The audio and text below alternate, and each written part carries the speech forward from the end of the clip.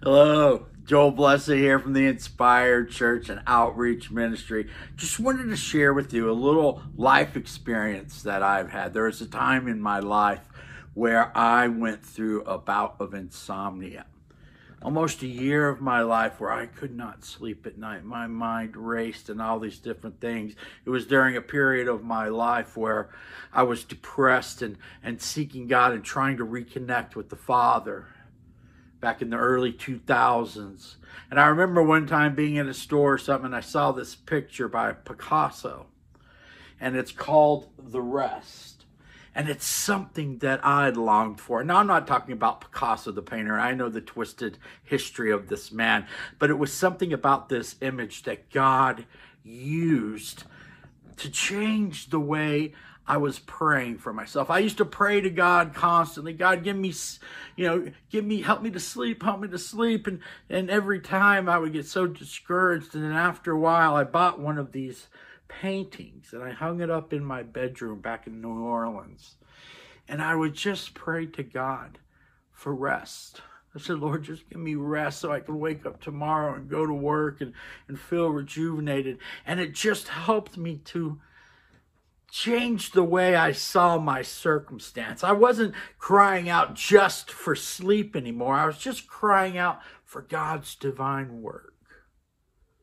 And I look at this image sometimes. I, I bought one here when I moved here in Denver from, from New Orleans because it, it, it did mean a lot to me from back in the day.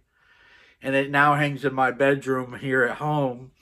And I still look at it sometimes and I, when I'm tired, when when I'm weary, and, and praise God, I, I no longer suffer from insomnia, but I know a lot of people do. And maybe it's just restless mind syndrome, as I call it, or whatever it is. But I want to encourage you. I want to pray for you. You know, maybe we need to seek God to just provide what we need and then the rest will come and then the sleep will come because after my my time uh, with, with insomnia it was just once i started getting things right with god once i started lurk, lurk, working with god and and changing aspects of my life the sleep did arrive. Now i know a lot of times insomnia is medical and mental and emotional and all of those different things. But I want to pray for you if you're desiring the rest that God can provide. Because I know the torture that it is not to be able to sleep, to wake up every day and, and to feel drained and, and not feel right in the way that you should. So, dear Lord, I lift up everyone who may be struggling with their sleep, Lord. I pray right now for your rest, your comfort, your peace of mind. Stop the minds from churning. Stop, stop the things from going through our minds, Lord. I pray right now for your divine healing, God. You are a healer. You are a God of all things. So, Lord, right now, I thank you that those of us and those who are struggling with sleep, Lord, provide the strength, close the eyes, stop the mind, provide the rest that we need, God. That we may be able to wake up and be effective for you and caring for you, dear God. Lord, I thank you for your rest, your divine peace, your divine comfort in this time.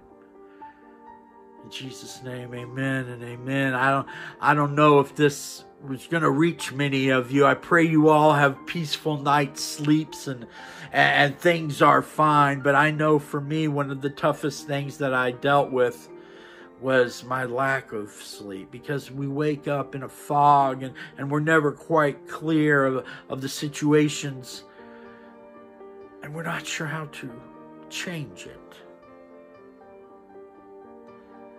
So I stand with you with expectation that God is going to work in your life, that God is working in your life, that God is changing your, your sleeping habits, and that, hallelujah, you will be able to close your eyes and have the slumber and wake up re energized and, and feel anew every day. I stand with you in this prayer. My friends, if you need the rest, our God is one who can provide it. Seek Him, trust Him, keep working on yourselves, working through the issues, keep trying to slow down the mind. And I know from experience that God will work. God bless you. I love you. Something I had to pray today, something that I've been through myself.